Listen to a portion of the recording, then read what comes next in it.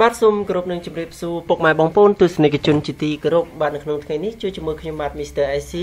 បាទជាខ្ញុំសូមនាំអារម្មណ៍ពុកម៉ែបងប្អូនមកជួបនៅរឿងរ៉ាវបាទតាក់ទិនទៅនឹងតារាថៃ8រូបដែលមានរឿងល្បីពេញប្រទេសថៃតែម្ដងបាទអញ្ចឹងហើយនេះគឺជារឿងរ៉ាវរបស់តារាបាទដែលមានរឿងរ៉ាវផ្អើលផ្អើលទូទាំងប្រទេសតែម្ដងនៅឯប្រទេសថៃបាទក៏ដូចជាបណ្ដាប្រទេសផ្សេងផ្សេងដែលគេតាមដានរឿងរ៉ាវតារា បាទអញ្ចឹងយើងមកមើលរឿងរ៉ាវតាក់ទិនទៅនឹង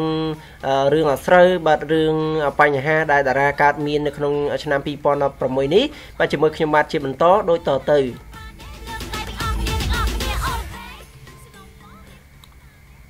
បាទទី1បាទគឺជាពិធីករដែលមានឈ្មោះបោះសម្លេងមួយរូបបាទកាលពីថ្ងៃទី21ខែធ្នូកន្លងទៅនេះបាទសារព័ត៌មានល្បីថៃមួយបានប្រមូលផ្ដុំសិល្បករល្បីៗនៅក្នុងប្រទេសថៃដែលមាន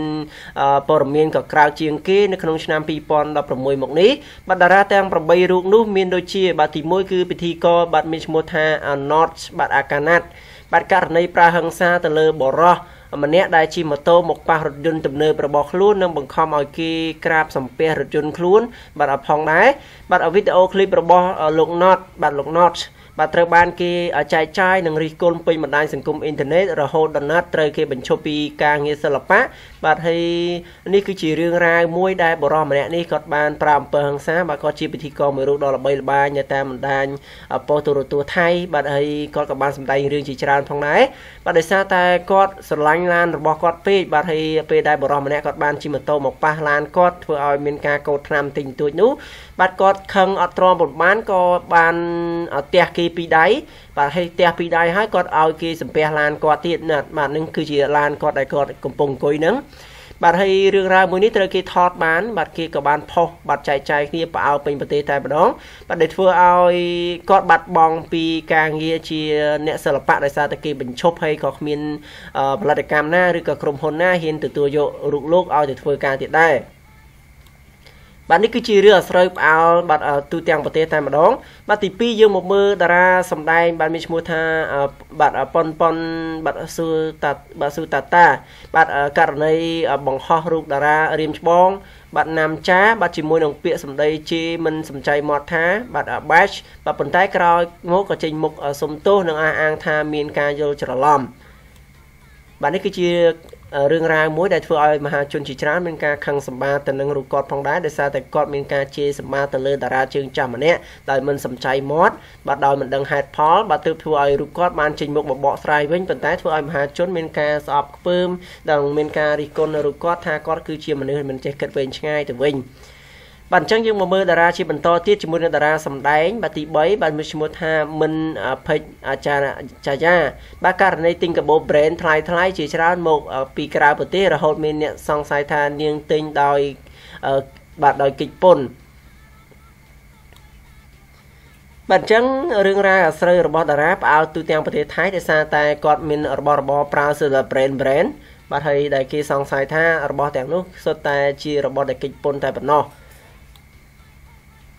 បាទតារាសម្បែបាទតារាសម្ដែងទី4មានឈ្មោះថាពោប្រាបាទប្រាបាទប្រាយាបាទពោប្រាយាបាទករណីចេញធ្វើការសង្គមយ៉ាងសកម្មថែមទាំងទទួលបានការងារជាច្រើននៅក្រៅប្រទេសបាទអញ្ចឹង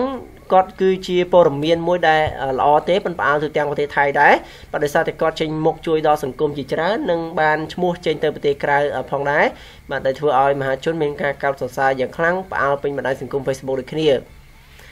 បាទបន្ទាប់មកទៀតយើងមើលតារាទី5ដែលមានឈ្មោះថាបាទតារាសម្ដែងមានឈ្មោះថាខ្វាន់